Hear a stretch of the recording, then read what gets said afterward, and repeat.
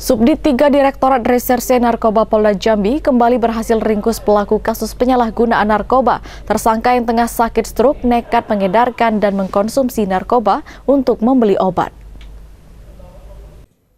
Berdalil butuh uang untuk biaya pengobatan penyakit stroke yang dideritanya, seorang kakek di Kabupaten Batanghari nekat menjadi pengedar narkoba jenis sabu. Dari penangkapan kakek yang berusaha kabur saat ditangkap di rumahnya, polisi menyita barang bukti 10 paket siap edar. Sabu didapat sang kakek dari seorang temannya yang saat ini dalam buronan polisi. Kakek diketahui bernama Sayuti warga RT 02 Desa Pulau Betung Kecamatan Pemayung Kabupaten Batanghari Jambi. Tersangka hanya bisa pasrah setelah diringkus anggota Subdit 3 Direktorat Reserse Narkoba Polda Jambi. Pria berumur 56 tahun lebih tersebut digerebek di rumahnya. Didapati tersangka tengah mengemas barang bukti sabu sebelum dipakai dan dijual kepada pembelinya bersama rekannya berinisial YD. Namun rekan tersangka berhasil kabur dari kepungan polisi dan kini menjadi buronan serta masuk dalam daftar pencarian orang.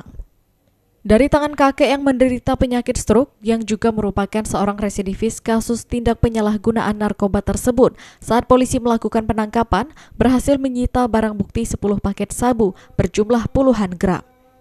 Kemudian polisi mengamankan sejumlah uang tunai diduga hasil transaksi narkoba dan barang bukti lainnya.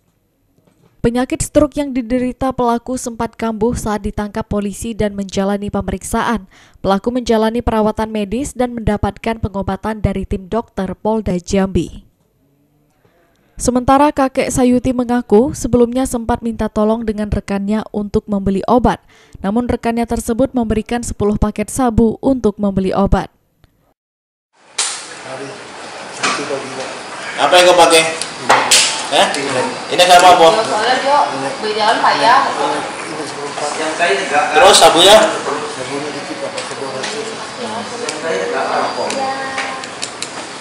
Berapa BB? Aduh, Yang ini? Yang ngecak siapa yang ngecak? orang? Orang itu. Namanya siapa? Yudan. Yudan. Dia yang ngecak. Untuk kepentingan penyelidikan, kini tersangka harus mendekam di sel tahanan di Tres Narkoba Polda Jambi. Kakek tersebut akan terancam pasal 112 dan 114 Undang-Undang Nomor 35 Tahun 2009 tentang narkotika dengan ancaman hukuman di atas lima tahun kurungan penjara.